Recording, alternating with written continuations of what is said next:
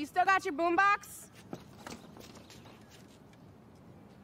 Play something and turn it way up.